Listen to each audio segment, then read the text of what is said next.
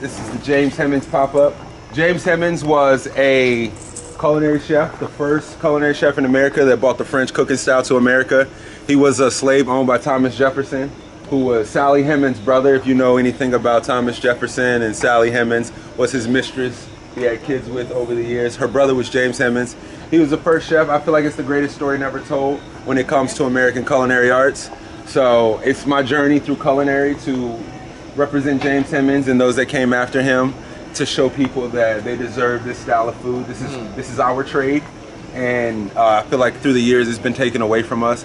So I'm here to reclaim it. This is my first uh, step in that journey. Some of you here, we're here for the graduation dinner. I told you the marathon continues. This is just another run.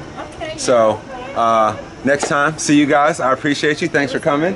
So you know. what is it called again, James? Uh, this is a this is a, uh, brought to you by Sincere Catering. It's